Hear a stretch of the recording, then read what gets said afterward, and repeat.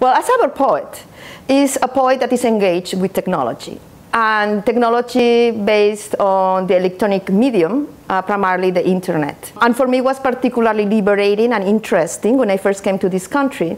And for the first time, I was exposed to the, um, to the uh, screen. It used to be black with a palpitation of the cursor, white, like bum bum.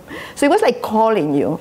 And I thought it was the perfect opportunity to establish a connection, and through that connection, to, to create elements of interaction. I created prototypes of robots. I was really um, convinced that I wanted to present poetry from the point of view of a robot.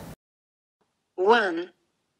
Inhabited by ciphers, code, código, circuits. That's why it's so important for me to create artifacts that delves into the idea of true communication, true interaction in a new age, uh, which is um, the electronic age in the 21st century. I think poetry, traditional poetry is important, it's beautiful, I still do it, definitely, but I think that we should challenge our way of understanding, reading, and experiencing poetry. Algorithm infers my entity, without weighing position or effect, pure response to your number on keyboard, diode, digital syntax, the word that uninforms, undesigns me.